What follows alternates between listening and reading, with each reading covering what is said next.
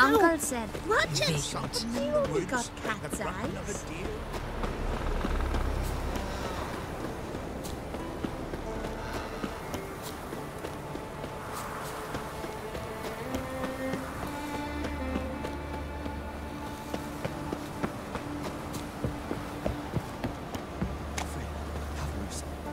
Who'll I leave my home to if Tialva dies? Who'll continue my line?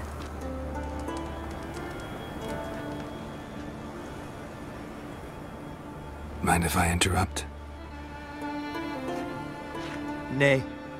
My prayers are in vain anyways. Here you're having trouble with a curse. Aye, I am. Look, see it lying there. A horse head on the pole. That's A nithing.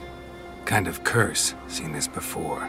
They're nothing to scoff at. Can bring misfortune, even death. aye. And the name carved upon it is Tialva, my firstborn. Boy's feverish, grows weaker by the day. I fear I'll bury him before the next moon. Tried to lift the curse myself, but no luck. I can help you. One of two ways. First, I can try to convince whoever put up the nithing to lift the curse themselves. Second, I can deflect the curse back on whoever cast it by writing their name on the shaft. Either way, need to know who's behind this. But I don't trouble no one. Don't know a soul who'd wish it upon me. Mm-hmm. Guess I gotta investigate.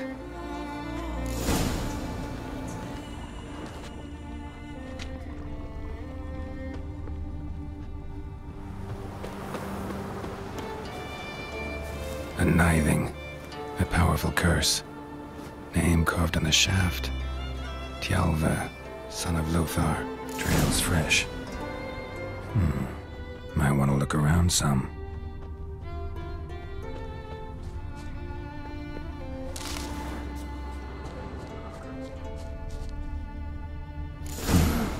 What is this?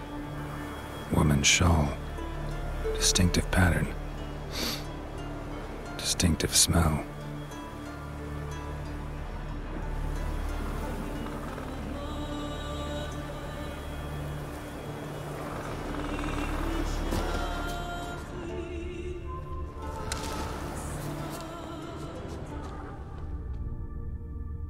It's clearing up.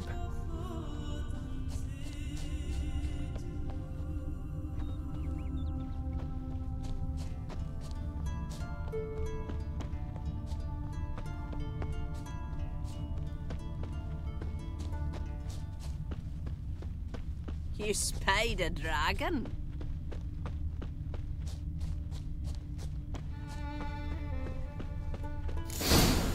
Too many scents. Can't follow my nose any further. Need to ask around about the shawl. You believe the wood's cursed? Vagrant. You, Odin? I am. Hear about me, sonny?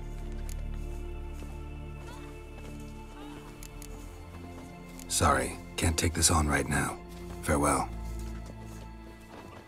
Watch yourself, white Not bad as steel goes. Think the dare Stay do long. Aye. What's it you need? Any chance you know who wore this shawl? Of course. Jonna, our herbalist, lives there in that hut. Oh, she'll be pleased you found it for her. Yeah, real pleased.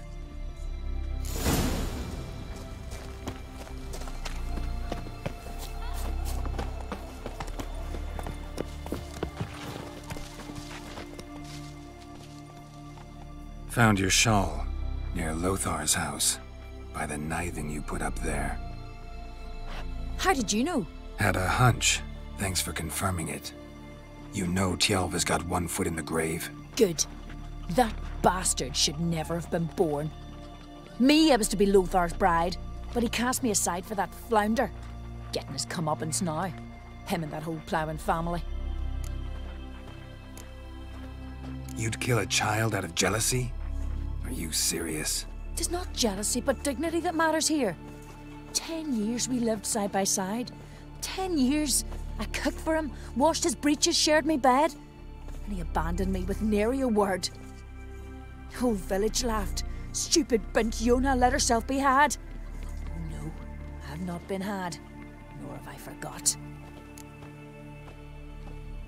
Want you to lift the curse. I mean it. Fine, I'll do it. But I've my terms. Lothar's to renounce his son and come back to me. I'll be sure to tell him. But I think we both know what his answer will be. The sorceress. Yennefer, right? Brand those swords, but I prefer me trusty axe.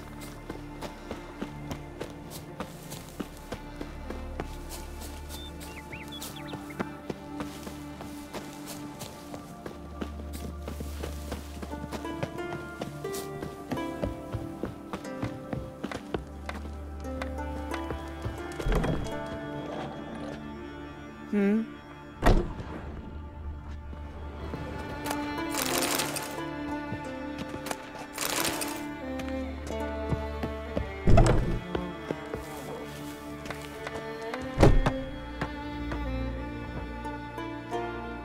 So, you know who placed the nithing? Old friend of yours, Jonna. I might have guessed. Jealous bitch! Can't stand to see others happy. So, will she lift the curse? Yeah, sure. All you gotta do is renounce your family and go back to her. Nay, never! My wife, my son, I'd strip them of honor. Condemn them to poverty. You've got to break the spell, Witcher. Let her die!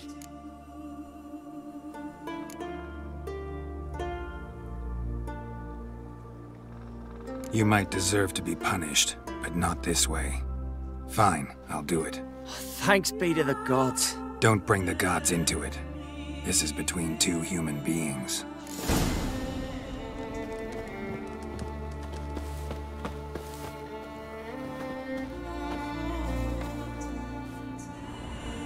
J O N N A.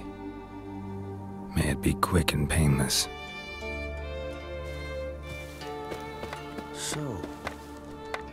Truth to that blather by the ice giant.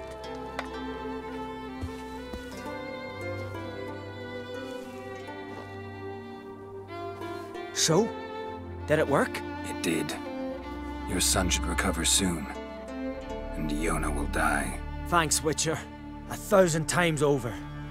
My son's dearest of all to me. I couldn't abide it if he'd died. Your reward. Will you eat with us before moving onward? No, not in the mood. There's truth to that blather by the ice giant.